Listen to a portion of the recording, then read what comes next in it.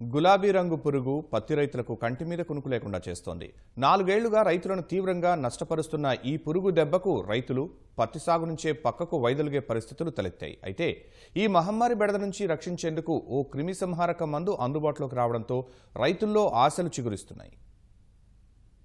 దేశంలో పత్తిని అధికంగా పండించే రాష్ట్రాల్లో ఏపీ ఒకటి. దాదాపు ఆరు లక్షల హెక్టార్లలో సాగు చేసే పత్తిని కృష్ణా గుంటూరు ప్రకాశం జిల్లాల్లో ఎక్కువగా పండిస్తారు. అయితే నాలుగేళ్ళుగా పత్తి రైతును గులాబీ పురుగు తీవ్రంగా ఇబ్బంది పెడుతోంది. దీంతో గతేడాదితో పోలిస్తే ఈసారి ముప్పై శాతం మేర పత్తి సాగు విస్తీర్ణం తగ్గింది. ఎన్ని మందులు కొట్టినా ఈ గులాబీ పురుగు బెడద తప్పడం లేదని రైతులు వాపోతున్నారు.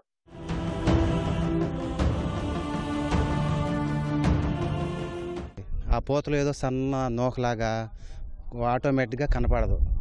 తర్వాత కాయలు అవుతాయి కాయలు అయిన తర్వాత ఆ కాయ పగలబోయిన దాకా కూడా ఎవరికి దాని- లక్షణం అది.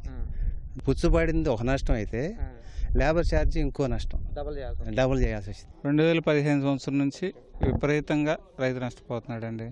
దీనివల్ల ఆర్థికంగా బాగా కుంగిపోయాడు. పూర్తిగా నష్టం పెట్టుబడి కూడా రాని పరిస్థితి. ఇది వీళ్ళు నాటుకో వాళ్ళు ఈ సంవత్సరం మా ఊరికి తీసుకున్నామని చెప్తున్నారు. ఏదన్నా ఉపయోగపడిద్దామని ఆశ దానివల్ల ఏమైనా లబ్ధి చెందుతామేమోనని ఈసారి ఈ సంవత్సరం ఇది దగ్గర దగ్గరగా మూడు వందల తొంభై నాలుగు వందలు ఆ మధ్యలో ఫస్ట్ ఒక మూడు వందలు అనుకున్నాం తర్వాత సార్ వాళ్ళే ఇంకొక వంద ఎకరం తీసుకుందామని దగ్గర దగ్గర మినిమం నాలుగు వందలు అండి నాలుగు వందలు చేస్తాం మందు ఇక్కడ ఫ్రీగానే ఇస్తున్నారండి.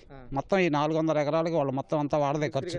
ఈ గులాబీ పురుగును కట్టడి చేసేందుకు నాట్కో ఫార్మా ఓ పూత మందును అందుబాటులోకి తీసుకొచ్చింది. సంపర్కాన్ని అరికట్టి సంతానోత్పత్తిని తగ్గించేలా పూత మందును తయారు చేసింది. మూడేళ్ళుగా అనేక ప్రయోగాల అనంతరం కేంద్రం అనుమతి పొందింది. అయితే రైతులు ఎవరికి వారు ఈ మందుని వినియోగిస్తే ప్రయోజనం ఉండదు. గ్రామంలో ఉన్న పత్తి రైతులంతా ఈ మందు వాడాల్సి ఉంటుంది. అప్పుడే ఈ మహమ్మారిని శాశ్వతంగా తరిమేయొచ్చు.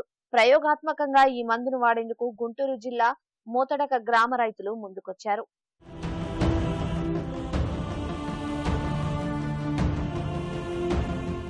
పేస్ట్ అనేది పెట్టిన తర్వాత ఏంటంటే ఈ పేస్ట్ ఎప్పుడైతే ఆడపురుగు వాసన వస్తుందో మగ పురుగులు ఏంటంటే అక్కడ ఆడపురుగు ఉన్నదని భ్రమలు ఏంటంటే అక్కడే తిరుగుతూ ఉంటాయన్నమాట.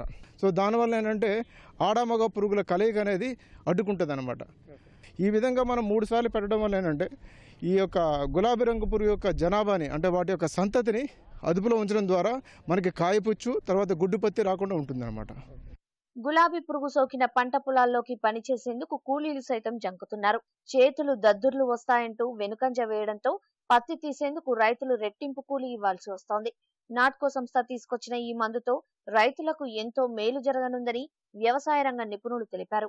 ఇప్పుడు మేటింగ్ డిస్ట్రప్షన్ అంటే సంపర్కం జరగకుండానే వీటను సంపర్కం జరగలేదనుకోండి మన పత్తి పంటలో వచ్చి ఆ తల్లి పురుగులు అనేవి ఆడ తల్లి పురుగులు అనేవి గుడ్లు పెట్టావు ఫిరమోన్ టెక్నాలజీ కొత్త టెక్నాలజీ తీసుకొస్తున్నారు. ఒకటి చేయాల్సింది ఏంటంటే రైతులందరూ కూడా దీన్ని సామూహికంగా చేయాలి.